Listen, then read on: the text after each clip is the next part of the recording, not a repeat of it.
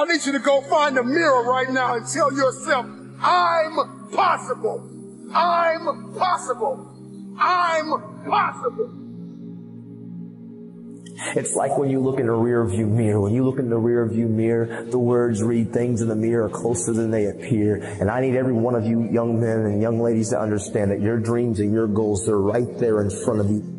And the only difference between people who lose and people achieve is the person who achieved tried one more time. And so we're all waiting for perfect. It's an illusion that will never come to you, and it's an excuse to never show up and play. Your story is not meant to be your fortress. Your story is meant to be your fuel. As long as that heart is pumping blood, you're not dead yet. They haven't put rose petals on your box yet. Make sure every breath you take counts for something. That dream is not going to wait and say, take a breather.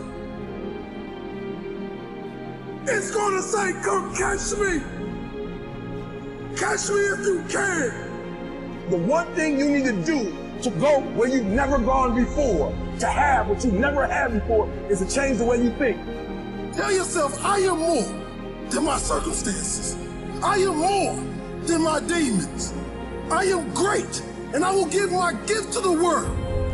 If it don't challenge you, it won't change you. If it won't challenge you, it won't change you. You can't do what everybody else is doing and think you're going to do something great. You got to do something different. You got to do something extra. Listen to me. You have to think it all the time. You got to think about it when you're sleeping. You have to breathe it all the time. You have to visualize it all the time. You have to be transforming all the time. You want the impossible to become possible for you. You got to believe in yourself. You got to go make it happen. But I promise you this, you're never going to know if you can sink or if you can swim unless you jump in the water. Somebody that says that something is impossible has not tapped into the power of their will. God has a plan. Will grow through what you go through.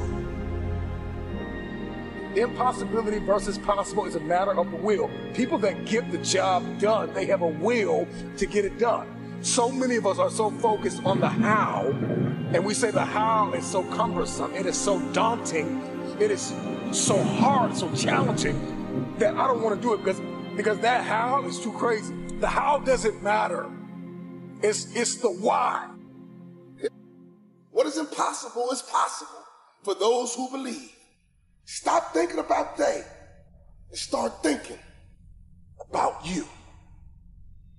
You matter, right? But there's a reason why I told you matter. I didn't, I didn't tell you you matter just to hear myself talk. Like, I, I didn't say you matter because I wanted you to get on some emotional roller coaster. No, the reason why I told you you matter is because you'll never have, you'll never be, you'll never do. Listen to me. You'll never experience life the way you were supposed to experience life until you recognize that you matter. Now, now it's important for me to let you know that you are powerful beyond measure. Listen to me, I told you last week because perhaps, perhaps, I don't know, your daddy wasn't in your life, your mother wasn't in your life. I don't know. You didn't have a mentor. I don't know, but you, you may have never heard someone look you in your eye, look you in your soul, and tell you that you not only matter, you're powerful within yourself that there's something you want to do, and I believe that all of us are born with a purpose, that all of us have something that we are supposed to do, And all of us have some goodness within us, and that goodness gives us a responsibility to manifest our greatness. And when you know that, you can feel it in your guts, and you know that you're deliberately operating below your potential, you've gotten comfortable, you stop expanding, you stop stretching, you stop challenging yourself. Let me share something else with you. Not only is it possible for you to have your dream, but it's necessary. You decide, I'm not going to settle for this. This is not going to be it for my life. I deserve more than this. See, that will start making you do some stuff. See, a lot of people go to work every day miserable, and all they do is just talk about how miserable they are. But you know that in order for you to get where you want to go, this is one of the hoops that you have to flip through.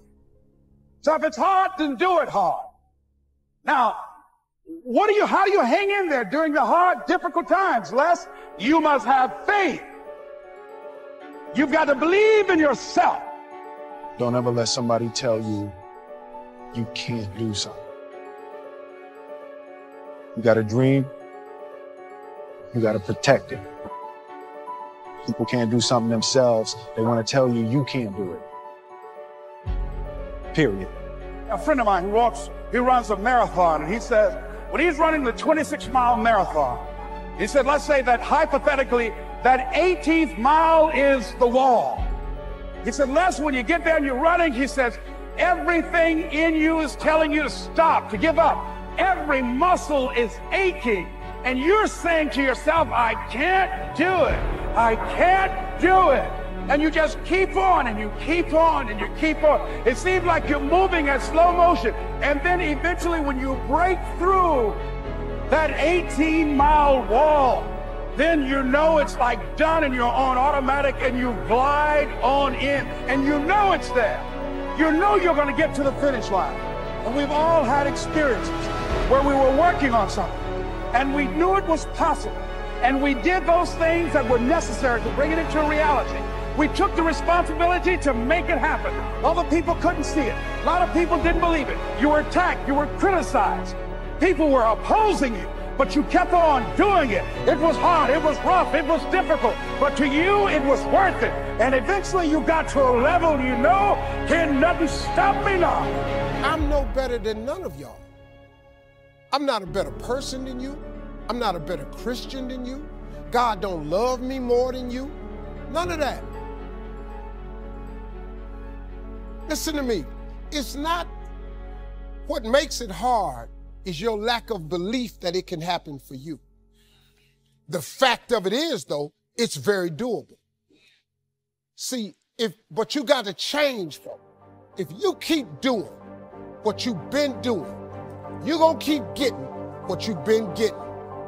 So if you're at a place in your life and you ain't happy with it, you have to change some things. Listen, getting successful, whatever you consider successful, if it's rich, whatever, it's not a magic trick. It's not God picks certain people he'll make rich and certain people he don't. He gives all of us as his children the power of choice.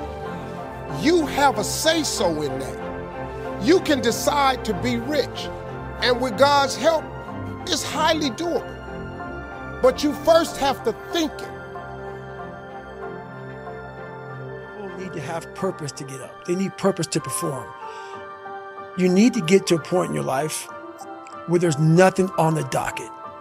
There's no 5K, there's no there's no, um, I'm going to get into school to be this or that and still perform to the highest level.